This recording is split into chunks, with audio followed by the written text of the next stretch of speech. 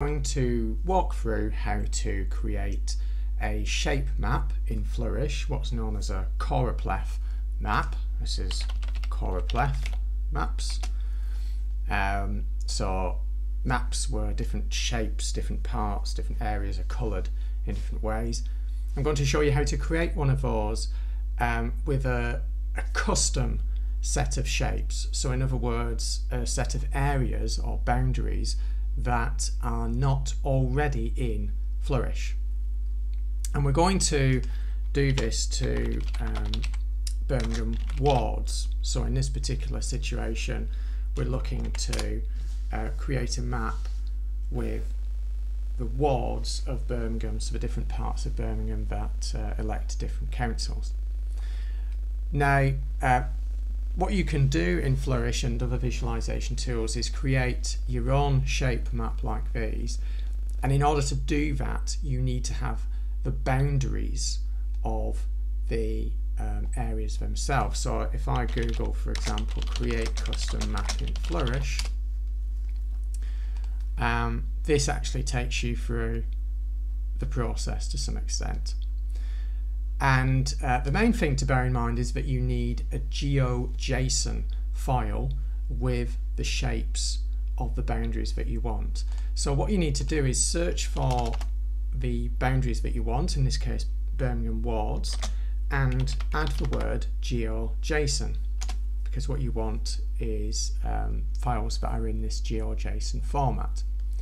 Now the first result looks quite promising because it's it's from um, Birmingham City Council. Um, you would go here and, and go to the resource. Um, this doesn't look like GeoJSON. Um, what you're looking for is something that looks a little bit like this. It's got lots of curly brackets and things like that.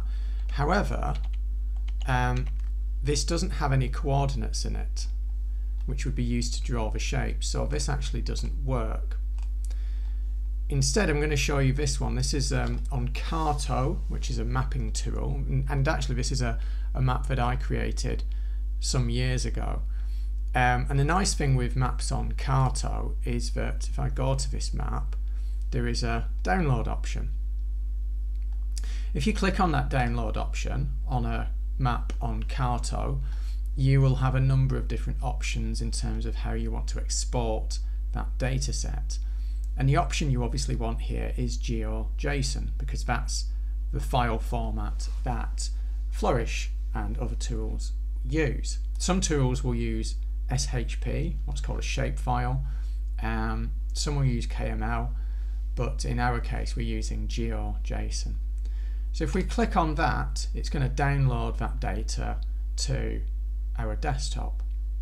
And at this point we can switch to Flourish and create a new visualization to use those shapes. Now, on the projection maps section, you will see um, there are a number of built-in shapes, um, US uh, counties, UK constituencies, but we don't have wards in the UK or indeed um, Birmingham specifically, just their wards. So we can click on blank to upload our own GeoJSON. If I click on that, I will get a blank visualization. And what I need to do is go to the data tab here and upload the data um, here. So I'm going to click on that. I'm going to quickly locate the file that um, I just um, downloaded and you will see it's been added to the map on flourish. And uh, we can tell it's worked because this geometry column here, column A, we can actually see the shapes of each ward. We can see the boundary of each ward. But if you go to the preview, it will be blank. And the reason for this is that you need to tell it that this is not a world map. So at the moment over here on the right hand side you will see the projection area which is already opened up this has a bounds section which is um, defaults to world what we want to select is auto and if we select auto it will automatically um, limit itself to the boundaries of the uh, shapes, the boundaries that we've imported as data. Um, so actually on the world view it's probably there somewhere but it's it's really really small. On the auto view it's just setting the boundaries to the edges of, of the of the shapes that we've imported. And as you hover over it, you'll be able to see the different shapes of the different boundaries that you've imported. So this has worked. We've now got the boundaries into Flourish. The only thing we need to do now is actually um, include some values that will be used to color code each of these areas so that people can actually see um, the differences between them. And to do this, you go back into data and um, we just need to create an extra column for those values. So I'm going to insert mine between B and C. Um, let's call this, um, what can we do? Let's just say crimes, okay? So I'm going to put some random numbers in here. And I'm not going to do all 40 of them, but I'm going to do enough. I've done about 15 so that when I go back, um, I can start to use those values to color code. In fact, there's one thing I need to do first, which is, excuse me, on this right hand side, um, I need to specify that that column, the C column, is going to be used as a value. And you can see the preview automatically changes once I've done that. So um, what this is doing, this box over here, uh, up until now, if I just delete that again, so you can see what it was like before, up until then, only one column in our data was actually being used in the map, and that was column A. And we can tell it was being used because it's a colour, whereas all the other unused columns are grey. And it happens to be the colour pink, but you can see that it might be purple or other colours for other columns that are being used. Um, and we can add uh, we can specify that different columns are used for different aspects of this visualization by filling these boxes here so for example the um, the name of the uh, uh, ward is in column H so I, I, might put that into that column and now that becomes active it's now being used in a visualization and of course we've already said that the value that we want to use is in column C we don't have to use all of these boxes, but this is how we can start to build our visualization. So we've got a column with the shapes in them, we've got a column with the names in them, and we've got a column with the values that are going to be used to color code. Now I can return to my preview and start to customize this a little bit further. And probably the one other thing that I'm going to want to customize is the color code that's being used.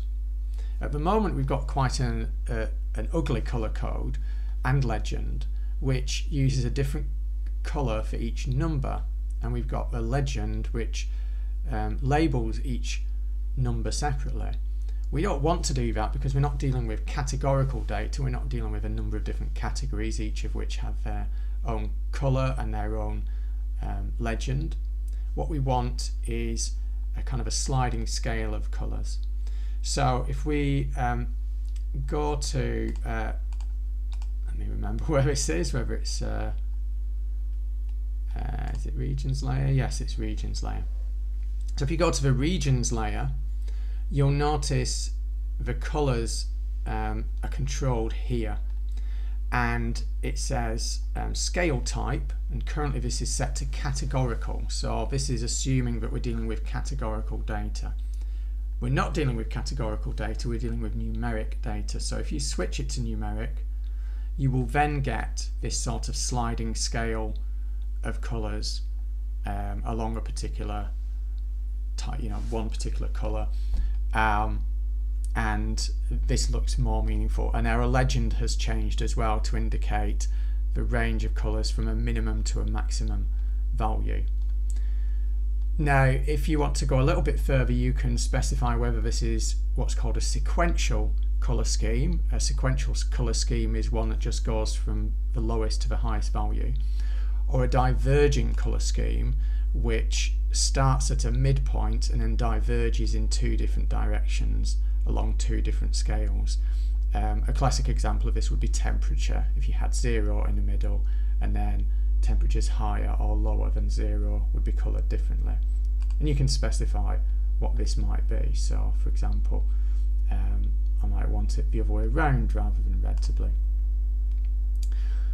So that's all I want to cover in, in this video. That's how to find some GeoJSON for the boundaries that you want to visualize, how to download it, import it into Flourish, and then make sure that your map is working in terms of um, colouring each of those regions differently. You'll remember that all of these other regions aren't coloured because I didn't type a value into this column C. So these are the, the um, cells down here which are empty. And if I start to colour those, you'll see them appear in the preview. Now, you might be wondering about these other tabs, points and lines. We don't have to use these, and I'm not using them in this map.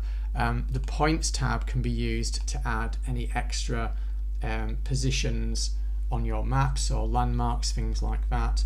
Um, it's filled with some template data which you can just delete, um, but if you did want to add points you could do that here. And likewise lines is used to add lines on top of a map if you wanted to show routes or rivers or things like that. And again, we don't need to use that. I'm just going to give the name to my visualization and that's it.